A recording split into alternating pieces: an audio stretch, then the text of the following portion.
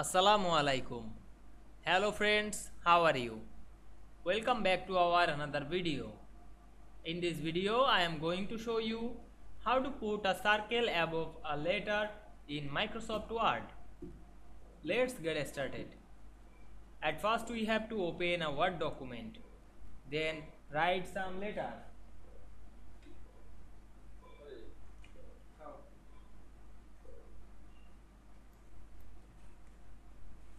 Then go to the insert menu.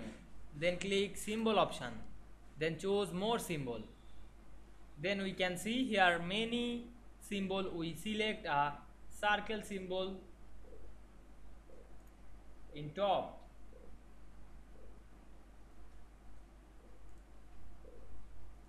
Then insert it. Then close the window. Now we can see here we put a circle above this letter very easily you can change the size and apply another effect. I hope you enjoyed the video. Please like, comment, share and subscribe my channel. Thanks for watching.